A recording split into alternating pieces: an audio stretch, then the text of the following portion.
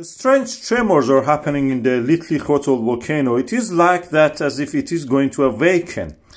The tremors started uh, since yesterday and we now seeing there a sudden rise in the last part of the tr tremor charts as you can see here and a similar uh, trend in the seismograms of an area slightly to the south of that uh, Hrútur volcano we can see there is smoke in the area of the volcano. This has been going on for a while, but this now is blowing from the direction of the east. We are looking toward the east and the wind is blowing uh, from that direction. It's directly coming to us.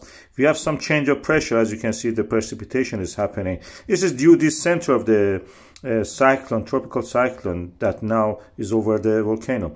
Uh, what we see here is that the size of the volcano compared to something like a Ibu volcano in Indonesia is quite small. So it doesn't need much, you know, power to actually erupt it. It's very gentle mid-oceanic ridge eruption. When it started, just to split the ground. We never seen anything like that.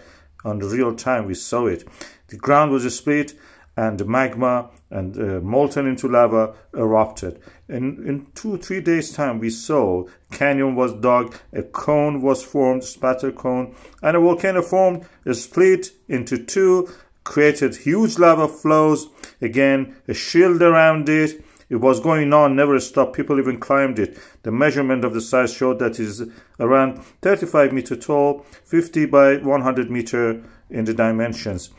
Then it gradually stopped and slowed down until uh, finally just fumaroles we see. The magma is present at the bottom of it and we may have eruption this year or next year again. And our satellite images shows that the area of the Litli-Hrútur is actually hot. You can see it in here. The red dots show that the areas are hot.